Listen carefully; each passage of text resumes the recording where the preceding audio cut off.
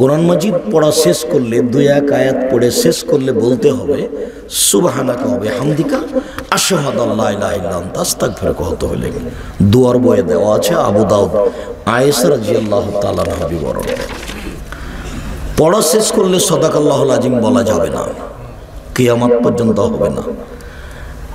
এইখানে প্রায় এক পৃষ্ঠা কাছাকাছি দোয়া হেডলাইনে দেওয়া আছে, দোয়াও খাতনে কোরআন। বাংলা ভাষা দেওয়া আছে। আমি আমার কিয়ামত পর্যন্ত মানে আমার মরা পর্যন্ত সময় দিয়েছি। আমি মরা পর্যন্ত আমার জীবনে যদি কোনোদিন এটা নবীর দোয়া প্রমাণ হয়ে যায়, তাহলে সেদিন থেকে আমি আর জাতির সামনে কথা বলব না। আমি কোনো সাধারণ কথা বলিনি।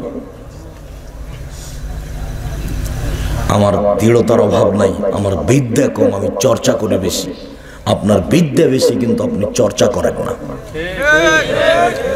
আপনিও চর্চা করলে আপনি এই দোয়া বলতেন না। যাকে আমরা মেনে চলি, যার নাম, তার নাম মোহাম্মদ সাল্লাম। নাম শুনেছেন কোনোদিন? যার আমরা অনুসরণ করি, তার নাম কি? মোহাম্মদ সাল্লাম। ওনার অনুসরণ করতে এক গ্লাস পানি পান করলে কয়টা বিধান লাগে। যেই ধর্মে এক গ্লাস পানি, কিছুই না। এক গ্লাস পানি খেলে পাঁচটা বিধান লাগে। সেই ধর্ম কি কোনো হুজুর দিয়ে চলে? সেই ধর্ম কি আর কোনো পীর দিয়ে চলে? সেই ধর্ম কি বুজুর্গানে দিন দিয়ে চলে? হলে হিসাব কখনো নয়, এটা অসম্ভব হতে পারে না। স্বয়ং উমার, উমারের মতো মহামানব, যিনি রাস্তায় হাঁটলে শয়তান তার রাস্তা দিয়ে হাঁটতে পারতো না। উমার ভিন্ন পদার্থের তৈরি আর শয়তান ভিন্ন পদার্থ তৈরি। উমারের জন্য শয়তানের গায়ে একটা থাপ্পড় মারা অসম্ভব, এটা হতে পারে না। উমার শয়তানের গায়ে একটা থাপ্পড় মারতে পারবেন না, কেননা দুইজন দুই পদার্থের তৈরি। উমারের ইমানি ক্ষমতা এত বেশি, উমারের ইমানি ক্ষমতা এত বেশি যে শয়তান রাস্তা ছেড়ে দিত ইমানি ক্ষমতার বলে। উমার যদি কোনো কথা বলেন, সেই কথা যদি মোহাম্মদ সাল্লাহ সাল্লামের না হয়, তাহলে তা বাতিল বলে গণ্য হবে। আর আপনার পীর সাহেব যখন রাস্তায় হাঁটে, তখন শয়তান দূরে থাকা, সরে যাওয়া তো দূরের কথা, শয়তানই চালায়। আপনি ওনার কথা নকল করেন, আপনাকে আমি দেখাচ্ছি এই ছেলে কোনো ছেলে যেন আপনার পাশ থেকে না উঠতে পারে এখন। আমি নিজেই ক্লান্ত, আপনার ক্লান্তির আগে আমি কথা শেষ করব। তৃতীয় জরুরি কথা আপনাদের সাথে আজকে। ধর্মের কিছু নীতিমালা আছে। তার একটা হলো আল্লাহ বলছেন, আতিউল্লাহ ও আতিউর রসুলা ওলা তুবতেলু আমালাকুম। পৃথিবীর মানুষ, তোমরা আল্লাহকে মানো, রাসুলকে মানো, আর তোমাদের আমল বাতিল করো না। তিনটা বাক্য। শেষের বাক্যটা বুঝলাম না। যদি এইভাবে হতো, আল্লাহকে মানো, রাসুলকে মানো, জান্নাত পাওয়া তাহলে মিল হতো ঠিক আছে ঠিক আছে, ঠিকই আছে। আল্লাহকে মানো, রাসুলকে মানো, জান্নাত পাবা। তাহলে একটা মিল থাকতো ঠিকই আছে। কিন্তু আল্লাহকে মানো, রাসুলকে মানো, তোমাদের আমল বাতিল করো না।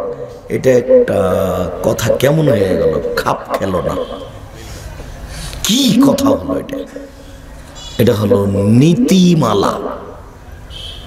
আল্লাহকে মানো এক নম্বর বাক্য। তিন নম্বর বাক্য। মানতে গিয়ে যদি উলট পালট হয়, তাহলে কর্ম বাতিল হবে। আল্লাহকে মানতে গিয়ে যেটা উলট পালট হয়, সেটা হলো শিখ গাজীপুর কাপাসিয়া থেকে গাড়ি ছুটেছে, যাবে ঢাকা। ড্রাইভার বারবার বলছে, কন্ট্রাক্টরকে মাজার পেলে দশটা টাকা দিও।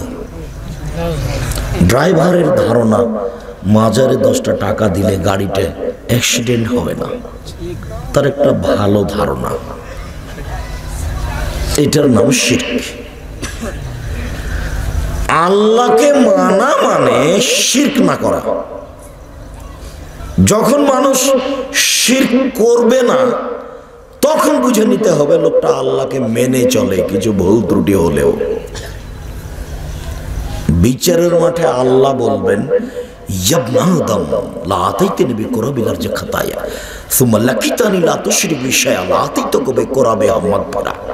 বিচারের মাঠে আল্লাহ আদমের ছেলে মেয়ের সামনে আসবেন। আর বলবেন হে আদমের ছেলে মেয়ে শোনাও তোমরা আজ আকাশ জমিন পরিমাণ পাপ নিয়ে উপস্থিত হয়েছ। পাপ আর পাপ। আকাশ জমিনের ফাঁকা পাপে পরিপূর্ণ হয়ে আছে। আমি আল্লাহ তোমাদের পাপের সম পরিমাণ ক্ষমা নিয়ে উপস্থিত হয়েছি।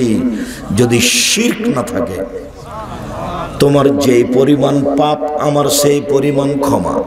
তোমার যেই পরিমাণ পাপ, আমার সেই পরিমাণ ক্ষমা। যদি শির্ক না থাকে, তোমার পাপ যত, আমার ক্ষমা তত। তোমার পাপ যত, আমার ক্ষমা তত।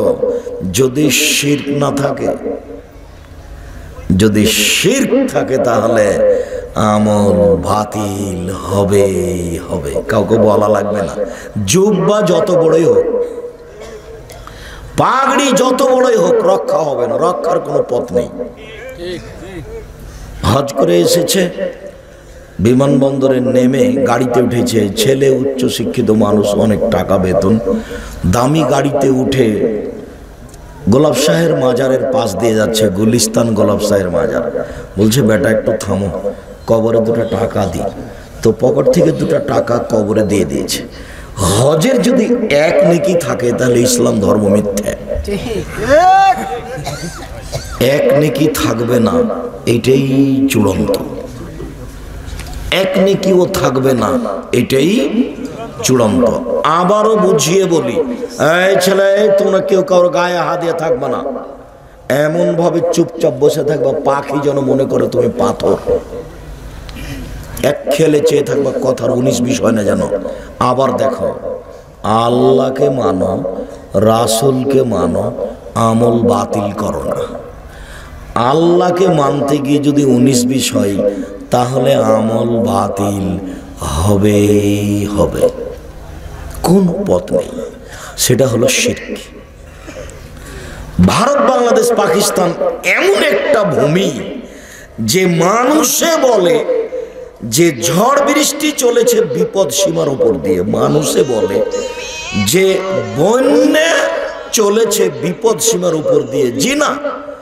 ভারত, বাংলাদেশ, পাকিস্তানের মাটি এমন মাটি যে এই মাটির উপর দিয়ে শির্ক বেদাত চলেছে বিপদ সীমার উপর দিয়ে। আমি ঠাকুরের নিন্দা করিনি। কোর্টে যে মামলা হয়েছে যে মামলা করেছে, সে ভুল করেছে। আমি রবীন্দ্রনাথ ঠাকুরের নিন্দা করিনি। আমি যখন সিলেট কোর্টে কাঠগড়ায় দাঁড়ালাম, আমাকে জজ বললেন, আপনি কি পিস টিভির আলোচক? আমি বললাম, জি। উনি বললেন, আপনার মামলা খারিজ করে দিলাম। আমি যখন সিলেট সুনামগঞ্জ কোর্টে কাঠগড়ায় দাঁড়ালাম, তখন আমাকে জজ বললেন মামলা ছাড়াই আপনার সাথে আমার কিছু কথা আছে। তিনি চোদ্দ মিনিট আমার সাথে কথা বললেন তাতে মামলার কোনো কথা ছিল না। তাতে বুঝলাম যে আমার বক্তব্য তার মুখস্থ আছে। তাতে এটা বুঝলাম যে মনে হয় কোনো দলের লোক যার কারণে আমার কোনো কোনো কথা তাকে খুব খারাপ লেগেছে। যেই কথাগুলিও ধরে রেখেছে। ধরে রেখে সেগুলো আমাকে শোনাচ্ছেন, এজলাসে বসে। তো চোদ্দ মিনিট কথা বললেন। আমি রবীন্দ্রনাথ ঠাকুরের নিন্দা করিনি।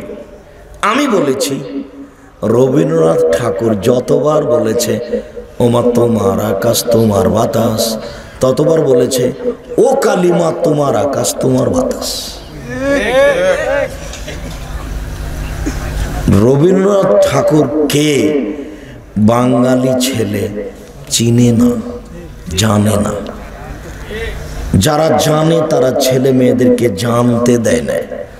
জাতি যখন বিপদে, ঠাকুর তখন বিলাতে।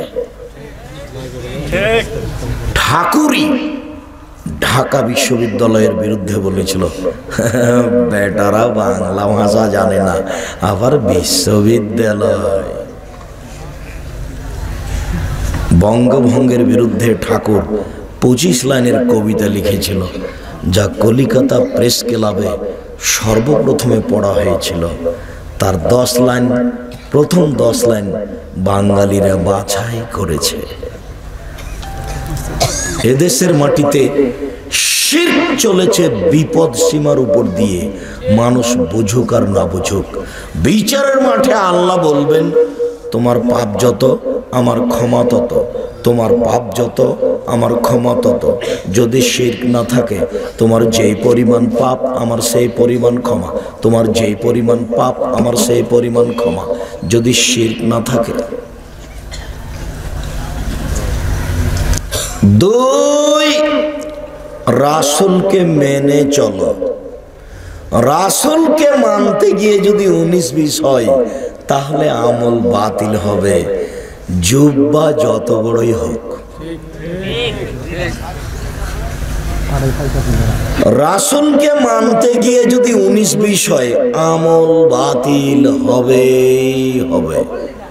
পাগড়ি যত বড়ই হোক, রক্ষার কোনো পথ নেই।